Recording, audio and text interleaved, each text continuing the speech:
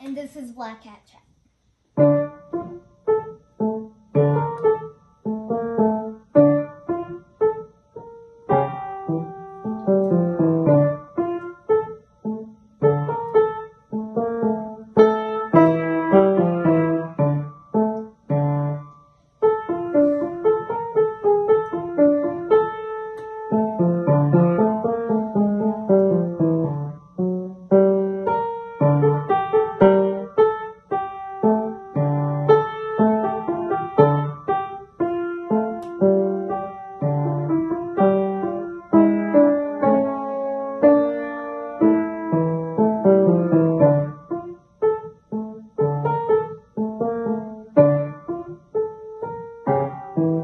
Thank you.